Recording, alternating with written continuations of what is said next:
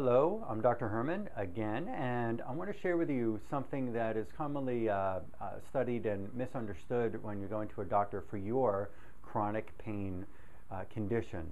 And that is whether it's fatigue or insomnia, or it's fibromyalgia, or it's uh, stress levels that are just not, you just can't function well, or it's really with a thyroid condition, like a hypothyroid condition.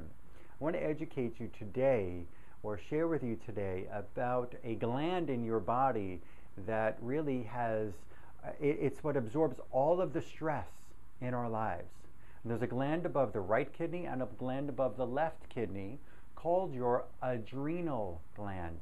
Adrenal gland. And you may be more familiar with that term if I share with you another word for a hormone that comes out of the adrenal gland called adrenaline.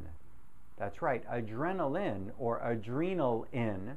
Adrenaline are, are excitatory hormones that come out of, well, if I can call it a hormone, but excitatory chemicals that come out of the adrenal gland and uh, they respond in periods of stress. Let's understand something else about the adrenal gland. And the adrenal gland has a stress hormone called cortisol. Cortisol is an adrenal gland hormone that comes out in times of stress stress like emotional stress. You get angry with your spouse or your kids or your neighbors or your boss or the taxes are due or whatever it is. The adrenal gland responds and lets out too much cortisol when you have blood sugar levels that are not normal.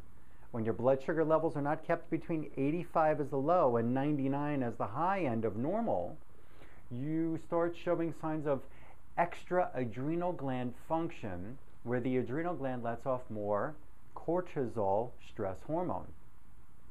Uh, you can have pain in the body, chronic pain issues, pain all the time, stresses the person's emotions more, and so on, and that leads to extra adrenal production of cortisol. Let's take it a step further and understand why this is so important to understand. And I'm going to show you in a moment what the rhythm is and what it may be in you and why we have to look for this and why it's so important to fix it is when you have uh, this, this cortisol production at such irregular levels, cortisol is a very toxic stress hormone that once it gets up to the brain in periods of stress, it eats away at the memory center of the brain. A year ago, I did a. Uh, I was involved, I was one of 50 doctors from around the world who did a human brain dissection class for three days. We were in California. And when we sliced open the human brain, we noticed that under the side of the brain here, there is supposed to be a cherry like structure called the hippocampus. In some of these patients, or some of these cadavers that we studied, the cherry like structure had shriveled up to little less than a raisin, real tiny, all shriveled up. This hippocampus is responsible for memory. When the hippocampus is getting atrophied degenerated by too much cortisol exposure. And we, it happens to all of us because we all have stress in our lives. So when we get too much cortisol exposure, it will shrivel up the memory center of the brain. And that's terrible because we don't want shriveled up body parts, do we?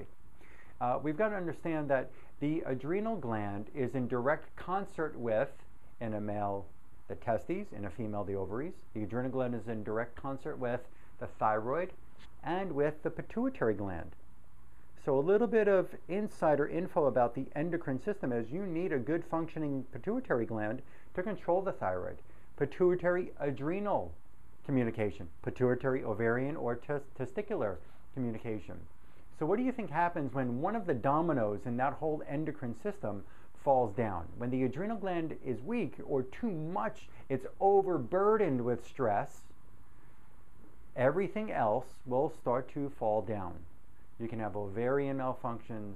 You can have estrogen production malfunctions, progesterone, mal, male hormone malfunctions, thyroid glandular hormone malfunctions, pituitary malfunctions. So we've got to understand that you've got to look for the stresses in life and be able to aid your body in removing what stresses we can remove, like food sensitivities, like leaky gut reactions, like other invasions of certain infections that might be in the gut and other emotional stressors that we can't remove, what we can do is, is take certain things that have been found in nature to inhibit this cortisol or hyper or extra cortisol response. when we look at an adre- a proper adrenal gland test, we're going to see this graph, and I don't have it to share with you on this video, but I'm just going to draw it out here.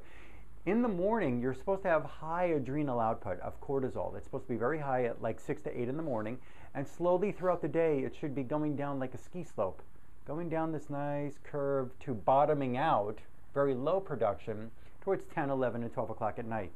The reason for this is cortisol output is supposed to be high in the morning to wake you up. It opens your eyelids, it gets you up, it gets you out of bed. If you, when we run your adrenal gland study, and we see it should be up this high in the morning, but instead, in your case, and you're fatigued all morning, the adrenal gland output may be very low. If this cortisol output is only 50% or 30% or 20% or 10% of what it's supposed to do, how can you possibly have energy in the morning? And the answer is you can't. As we're going down that ski slope, if your cortisol output is always below the level of where it's supposed to be for a normal functioning human being, you're, you're going to feel fatigued all day. That's chronic fatigue. And let's say now you get to sleep uh, or time where you're supposed to go to sleep, it's at 10 o'clock at night or 11 or 12 or 1 in the morning, and you, you, you say, Well, I can't fall asleep. Well, that's sometimes what we find in patients is that instead of it bottoming out at nighttime, remember the ski slope effect of cortisol, is that we find the cortisol starts to actually function too much. The adrenal gland is pumping out this cortisol too much at that 11 o'clock or 10 o'clock or 12 o'clock at night. You can't fall asleep then. Because when we take it one step further, is that in order for you to be able to sleep at night, you need low production of cortisol, you need high production of melatonin, if you have cortisol levels that are coming back high at night, your melatonin's uh, uh, it's going to automatically be low. These two, cortisol and melatonin, are in inverse proportion to one another. So when we look at a good adrenal test uh, study, we see where the cortisol rhythm is in your 24-hour cycle, and we're able to understand what we need to do to aid that and fix it. And that can be fixed, and that can be aided. It takes time, but it can be done. When we use functional medicine approaches, to correct the function of that adrenal gland. So let's understand again, just to recap here. You need a good adrenal gland study. Adrenal gland is responding to all the stress, whether it's food sensitivities, whether it's a leaky gut, whether it's gut infections, whether it's sugar imbalances that are even still within the normal laboratory range, as I mentioned earlier. Hormonal imbalances in your system can cause this adrenal gland problem. Thyroid problems can cause the adrenal gland problems, and adrenal gland can cause thyroid problems. So we always have to look for these. Again, I want to thank you for sticking through this few minute video that I'd like to share with you this information. Uh, again, my number is 954 370 3100. I look forward to meeting with you and helping you get well, and you can get well. Thank you.